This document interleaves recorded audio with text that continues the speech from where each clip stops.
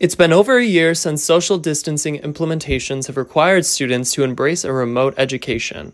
For students studying the arts, the uncertainty has provided an extra level of anxiety. Megan Walsh, a fourth year art history student at San Diego State University, said they feel as though social distancing has hindered their ability to learn essential techniques needed for their major. Working in the bedroom as a studio for art for me is very oppressive. Walsh is among the hundreds of San Diego State art students whose studio classes have been halted by COVID 19. While the circumstances are unavoidable, low income artists who do not have access to supplies or a working space suffer the most. Usually, art programs require studio time that consists of in person practice and rehearsal. Students are granted access to expensive equipment that they otherwise wouldn't be able to afford on their own. For many students, these resources are why they choose to pursue a college career. When I'm in one space trapped all the time, it feels very difficult to be able to set the time and space to create.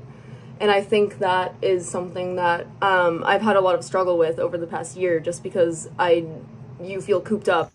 Although frustration has built among students, Many art professors have gone above and beyond to provide their classes with unique opportunities that they otherwise would not have had access to. As long as professors can guide their students in the right direction, the practices will inevitably follow.